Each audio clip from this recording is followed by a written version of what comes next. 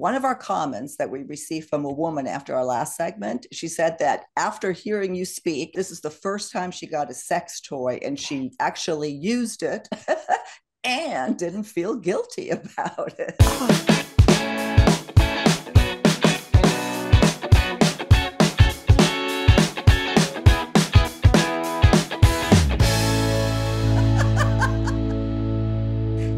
So much for joining us today on Second Act TV. I'm so happy to welcome back Joan Price, the author of numerous books, including Naked at Our Age, Talking Out Loud About Senior Sex, and the topic for today's program, Better Than I Ever Expected, Straight Talk About Sex After 60. Joan, thank you so much for being here again. Oh, my pleasure. I love I love being on your show and I love the comments from the listeners. My goodness. Well, I'm I'm sure we're going to get a lot today as the audience absolutely loved you. The segment went through the roof. And I just want to thank you again today for your time. I know you're really busy. You get interviews requests all the time. And we're so lucky to have you here. Well, I'm lucky. I'm well, a lucky one. In, in, but, you know, in that regard, kind of have a bit, a bit of a personal question. You didn't get to this point of being the senior sex expert that the media goes to, you know, without without challenges. You know, that that wasn't easy. You face pushback, some ridicule, snarky remarks. I mean, what, what was that like? How did that affect you? I kind of expected it Mm-hmm. that I would be facing what I call the ick factor, mm-hmm. which is society thinking, ew, older people having sex, wrinkly people, ew, who'd want them? Eh, la, la, la, la, don't talk about it. And I say, yeah, I'm going to talk about it. I'm going to mm-hmm. talk about it and write about it and bring it out in the open. And my first book, Better Than I Ever Expected, straight talk about, about sex after 60, got a lot of backlash like that. Yeah. The first review, I don't know if we talked about this before. The first review of this book mm-hmm. was in the San Francisco Chronicle magazine, and it started with this line Now that boomers have discovered their sex after 60, could they please stop writing about it? Well, and that's that's the kind of ignorance that we're facing out there. Yeah. And so again, kudos for you for for doing this you know and, and helping us be able to talk about it and actually enjoy sex way way into the aging process. So anyway uh, the topic today is redefining redefining sex as we age. You know you admittedly say there's a lot of challenges. Some things don't work anymore. So my first question to you is you know what are those key challenges? And then what do you mean by redefining sex well, the key challenges are, as as you put it, and as I'm always saying, the old ways don't necessarily work the way they used to, which means that people with uh, vulvas don't lubricate naturally enough for penetrative sex or sometimes at all. Mm-hmm. There may be vaginal discomfort. It may be that although intercourse is possible, it isn't the pleasure most pleasurable mm-hmm. way to have sex and for aging penises they may not get erect or stay erect as long as as they want to for penetrative sex but mm-hmm. notice mm-hmm. all of this i'm saying for penetrative sex there's so many other ways mm-hmm. to give and receive sexual pleasure mm-hmm. then you can continue to keep having wonderful sex. Mm-hmm. it just needs to be redefined. And not as a oh no we can't have real sex. We'll just mm-hmm. it is real sex. Yeah and there's two issues here and two different two sets of people perhaps that we're talking to or maybe a combination thereof and that is couples you know who've been together mm-hmm. for a long time and then the sexual desire has gone for whatever reasons then there's also maybe even a larger chunk which yeah. are people who are starting over again and what i really want to touch on is not the logical part necessarily of well yeah you should talk about it and do that and it's tough to do that it's really, yes. really hard to do that. We've mm-hmm. learned new skills. We learn new skills all the time. So we can learn the skills of talking about sex, mm-hmm. even if this is the first time we've ever had to do that. We mm-hmm. can't depend on a partner mind reading. And even if we don't have a partner, we need to be able to explore things. And that may mean going into a sex toy shop and saying, mm-hmm. here are my issues. Can you help me pick something out? It's it's interesting you brought that up for two reasons. One, one of our comments that we received from a woman after our last segment, she said that after hearing you speak and giving your advice, that this is the first time she got a sex toy and she actually used it and didn't feel guilty about it. Oh, gosh. yeah. And then a man said that he was so relieved. Actually, several men said that. Oh. They were so relieved to hear you talk about, you know, that that penis vagina sex isn't the most important thing. That's like, oh my God, I don't have to be a stud. You mean that they actually may not care about this? They, it was like relief well, I want to comment on that because that's mm-hmm. just wonderful that you're getting yeah. that feedback. Uh, I do too when I, when I mm-hmm. give talks and workshops. And uh, the thing is that we don't need to have performance anxiety if we redefine sex in a way that doesn't require us to perform. Good point. I mean, duh, in a way, it's a duh, isn't it? But yeah. it, it sometimes doesn't occur to people. Of course, I have to perform. Why? What how about taking the focus off of whatever it is that you're worried about working right and instead put the focus on what to, how do i communicate what i need to feel pleasure and how do i give pleasure if we have anxiety mm-hmm. that's only going to make things worse mm-hmm. you know joan i hope that just by pointing out the fact that on both sides we have these worries this anxiety that that makes it easier to talk about. Is really important because like you said unless we talk about it we're not to not not to get anywhere. And the other point uh, toys and getting more toys. I mean, you know, I could talk about that so easily now. You know, there's people listening to, uh, I'm sure that does cringy. Oh God, how am I going to do that? I can't, you know, that, no, I can't, I can't. I know you get that all the time. Is there a way to overcome that a little easier? Well, yeah. One thing is to learn more about them, mm-hmm. that these are just pleasure tools. That's all. Their one aim is to help you reach orgasm. Mm-hmm. That's it why do you would you need to feel shame about that if your body is saying i need more sensation mm-hmm. i need much more intensity then mm-hmm. why not mm-hmm. i mean mm-hmm. these are just pleasure tools yeah. and i would suggest to people who are nervous about that or say well i wouldn't even know what to get I've been reviewing sex toys from a senior perspective for about 15 years mm-hmm. on my blog at joanprice.com slash blog. And if you start reading about some of these, go, oh, okay, that sounds interesting, but maybe that's a little bit too much for me. Let me read about this one. I wouldn't be afraid of something that looks like a rose, whereas I would be afraid of something that looks like this enormous wand with a so that you could bash someone's head in with. So you know, it depends on your comfort level and what you mm-hmm. need, what your body needs. Yeah so I want to say two things. One, you have obviously you have your blog. People can reach you there. We'll have that in the show notes. And underneath in your title, I have uh, your your website.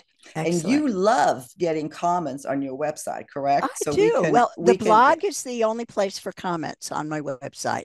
Okay. Um, so uh, my blog welcomes your comments. And I want to direct our viewers there because you there you are a source to find to ask questions. Yeah. You know, you can yeah. do it here too. And I I get back to as much as I can, but you're the expert. So I want to make sure our viewers know that, that you do welcome, welcome those questions there. Absolutely. And then with the toys, now what kind? Yeah, well, again, you, you've done this now professionally for 15 years. I've, I've been doing uh, this senior sex education for 20 years. And uh, but about 15, I've been reviewing the sex toys personally. At first, I thought, well, I recommend sex toys. And if I'm doing an in person uh, presentation, I will hold up the oscillator and the mm-hmm. magic wand and tell you why I love those. Mm-hmm. But do I really want to talk about how arousing I personally find a sex toy? I mean, that just seemed like maybe that boundary was too much. And then I said to myself, self, if you don't do it, who will? you know, nobody talks out loud about this from a right. senior perspective. Mm-hmm. Talking right. about, for example, if you've got an arthritic wrist, then mm-hmm. this one transmits the vibrations too much into the wrist. It might not be the best for you. Who talks about that? Right. So I just said, self, get over yourself, do it. And I'm so happy that I do now. I love I it. Actually, love have it. entire companies that depend on my reviews for knowing seniors who want. And I love that. The thing is, too, I'd like to maybe address while we're here is are men here's a perception this goes to changing you know your mindset uh, relearning perhaps what mm-hmm. you know mm-hmm. or unlearning i should say your your upbringing is that men are intimidated by sex toys that some women will one hide it would never admit to it and certainly wouldn't suggest using them you know in the bedroom together that that just that the man would think well if she needs that you know that somehow he's not good enough yeah um, i wouldn't say men generally but i would say there are some men who are freaked out by a woman partner wanting to use a sex toy. Think, well, I'm not enough for you. It doesn't have to do with you at all. Mm-hmm. It's what my body needs. Now, mm-hmm. you can co- go along with that and enjoy it with me. Mm-hmm. Let me show you yeah. this vibrate my favorite vibrator and let's use it during our own mm-hmm. sex play so that I can show you what it how it works for me and it doesn't mm-hmm. mean you just have to sit back and watch and go oh okay that's interesting now what what about me you can participate in it with me mm-hmm. Mm-hmm. i recommend that people think of it as it's just a way to get extra stimulation. Mm-hmm. If you wanted to go dancing, but your knee hurt, would you use a knee brace? Mm-hmm. Well, why not? No, no, I should be enough for you with my my great leading. The way I lead you on the dance floor should be enough mm-hmm. for you. Mm-hmm. Nobody's going to say that. We use these tools all the time in different ways. We use jar openers if you think of it, we could make a list of, and maybe in the comments, some people will uh-huh. do that.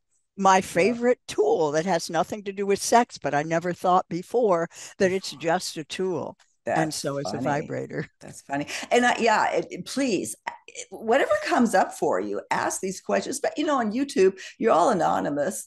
Very few people have their real well, name. Kind of. I mean, yeah, you can ask questions. You can ask yeah. questions and don't worry about ridicule or who's going to find out.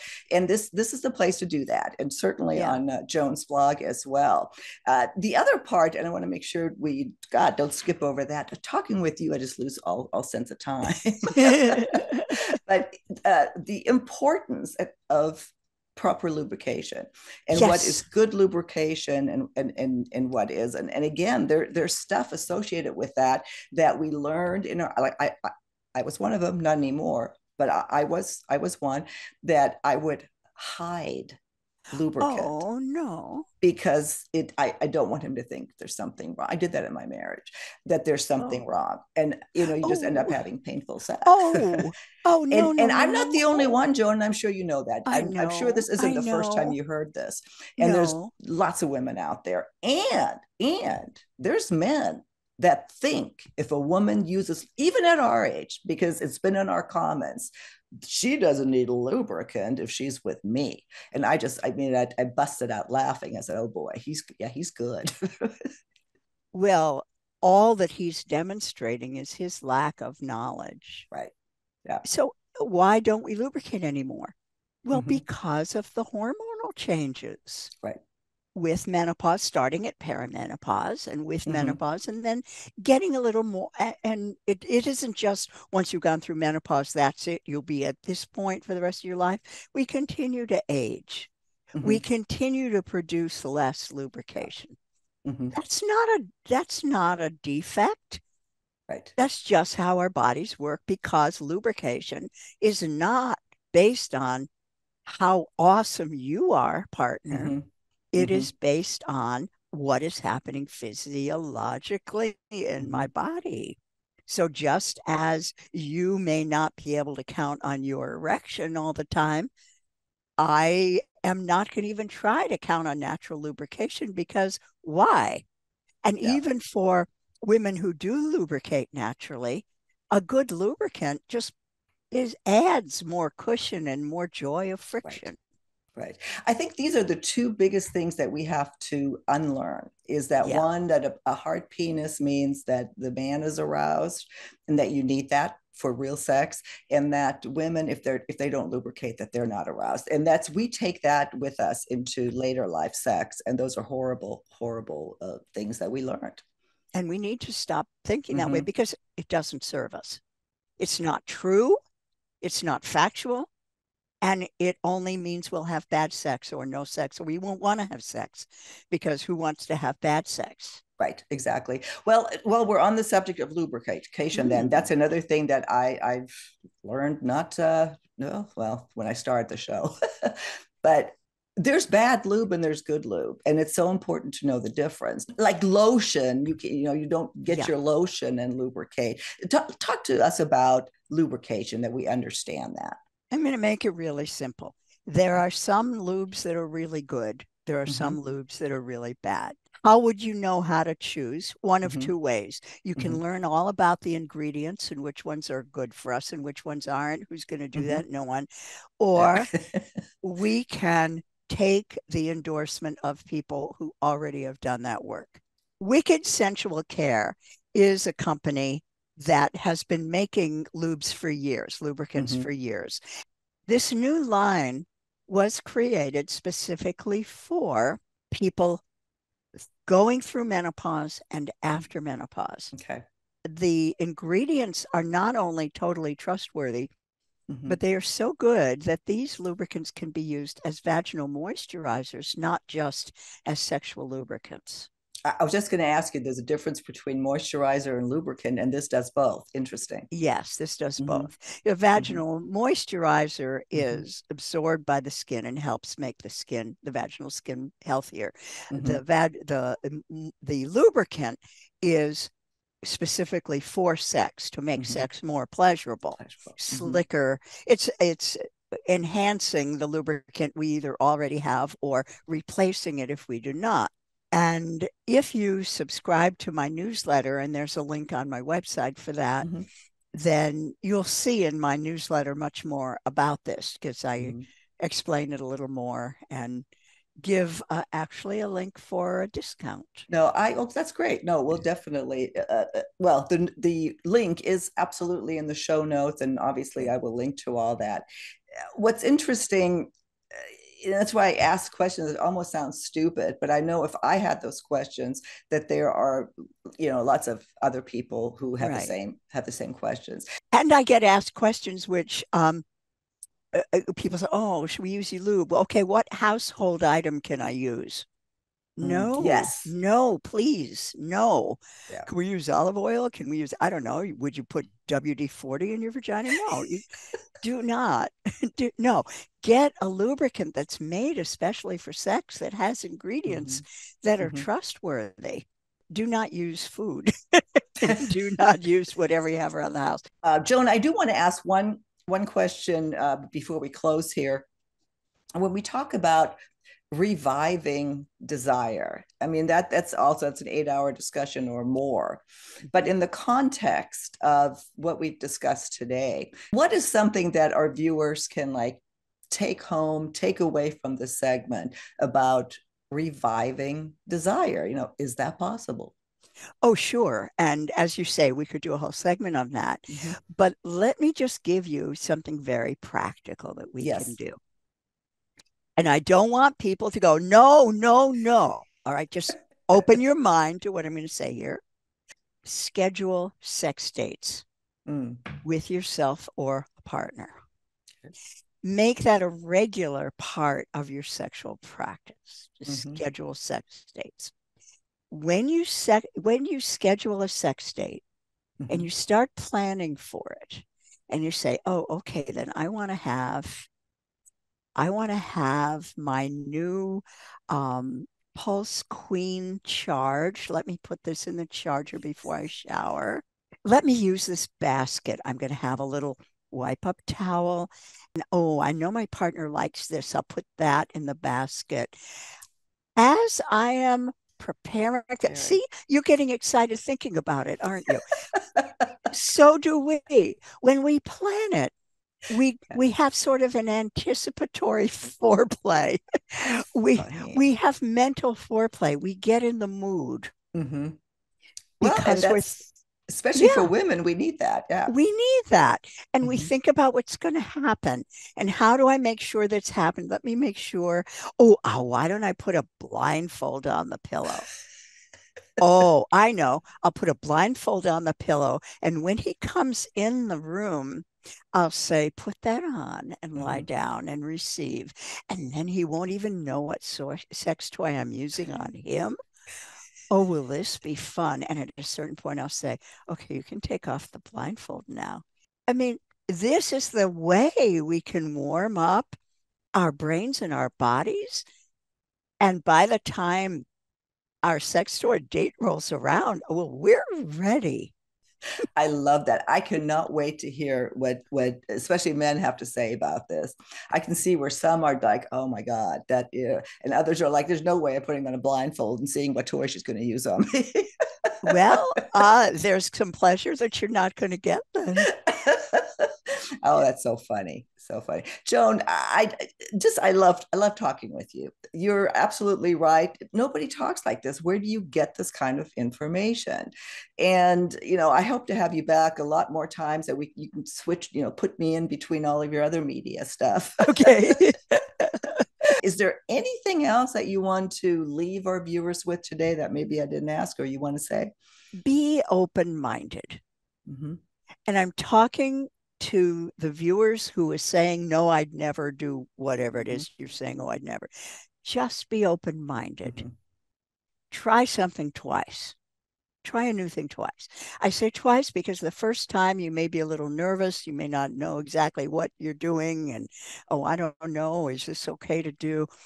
All right, get the first time out of the way and then try it again but mm-hmm. try new things because mm-hmm. if you're just doing the same kind of thing over and over again mm-hmm. and it wasn't really satisfying the last 65 times yeah it's not going to be satisfying the next time yeah, exactly. Joan, as always, I will link to all of your information, the link in the show notes for your website as well as on screen here. Your books, oh my goodness, I love that. The, these are books you need to pick up and, yeah. and read. They're, you know, especially if you want to live or revive a, a later in life sex life. So, Joan, thank you again. And I can't wait for our next conversation on Second Act TV. Thank you.